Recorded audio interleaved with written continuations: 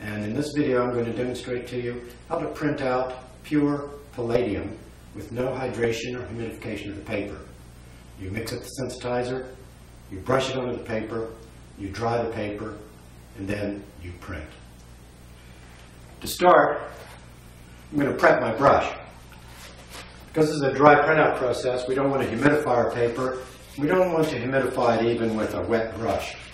We want to have the brush just damp enough so that it doesn't soak up the metal when we brush it on, but not so damp that it affects the paper. You introduce hydration or humidification into the process, you just ask for trouble. It creates problems, offers no benefit.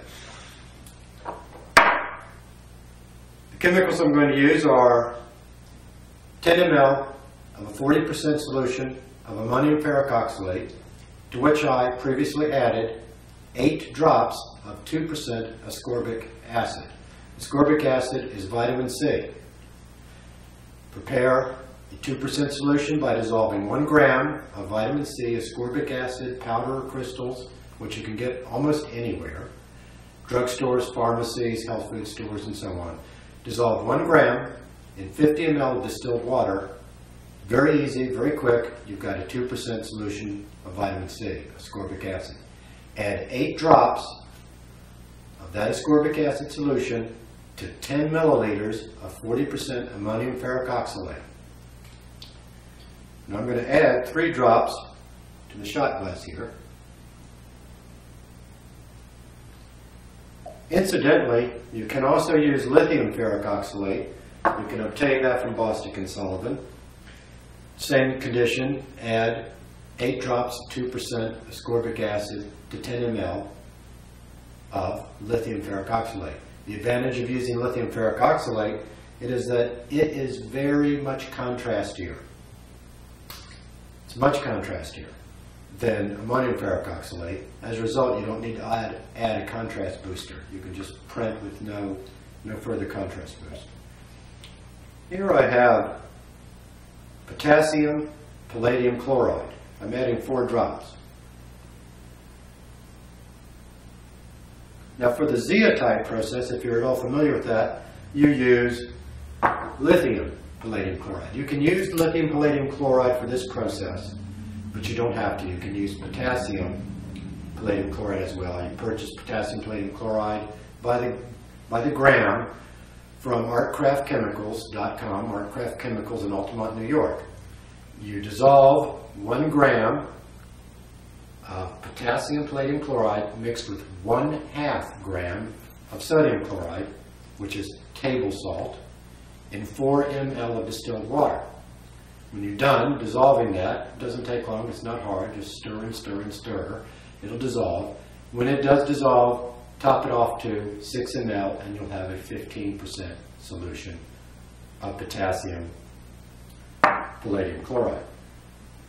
One drop of 26% ferric oxalate. Ferric oxalate is the chemical traditionally mixed with uh, platinum and palladium for making platinum and palladium prints that you develop out.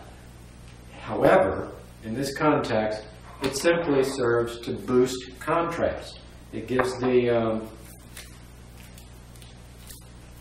image a little more contrast, which you generally need because palladium, of course, is a very low contrast medium. Now, you just pour the mix out onto the paper. You want to get it brushed out fairly quickly. You want it to get brushed out so that it doesn't stain the paper. That can happen if you let it just linger. Don't do that. Brush it out, get it out, cover the area you need. Then you can brush at angles back and forth and smooth it. Just don't want to leave any streaks in the paper, in the image. Once you've got it brushed out smoothly,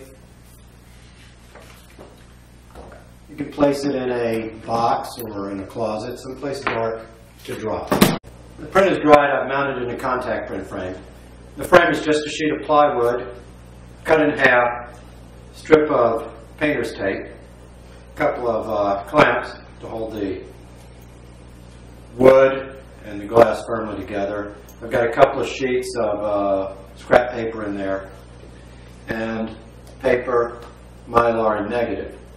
I always use mylar, two mil thick, because when this heats up under the UV lamps, even though the paper's dry, even though it started out dry, and I've let it dry after applying sensitizers to it, it's still damp in there, at least in the um, sensitized area. And when the heat and the UV light hit it, it gives off vapors, and those vapors can damage a film negative. All right, I'm going to go ahead and put it in the UV box. Print it out. There's the box. You notice I'm wearing sunglasses. These sunglasses are coated 100% effective against UV light. You really don't want UVB light striking your eyes. It can cause glaucoma. Let's see how we're doing. It may actually be ready. It's coming along very nicely. The uh, brown caused by the excess iron used as a result of the ferric oxalate. The ferric oxalate isn't serving any image forming purpose. It's simply there to boost contrast. This may be ready. By golly, I'd say it's ready. Yeah. You can't see it, but I'll show it to you in a minute. Let me turn this off.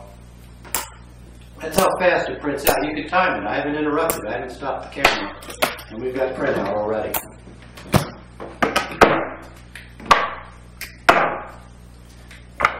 Now that I've perfected printing with gold, perfected dry printout with platinum, perfected printout with palladium dry, and invented printout with gold and platinum, my next step, I think, is going to be to come up with a way to make it even more sensitive so you can use this. You can cut a sheet of paper and put it in your camera. It's all right. It's a little light. I'll show it to you before I put it in the water. It's going it's going to darken a bit in the water. What's going to happen? You can see that there. I'll hold it to the light for you. See how it's sort of orangish, ochre? That's going to go away. And so uh, it's like uh, if you're looking at this with an orange filter, it would look a lot lighter than it is. That's what's going to happen, except that I think the water will probably darken a little. Let's see. It's not darkening a lot, unfortunately. However, it's a print.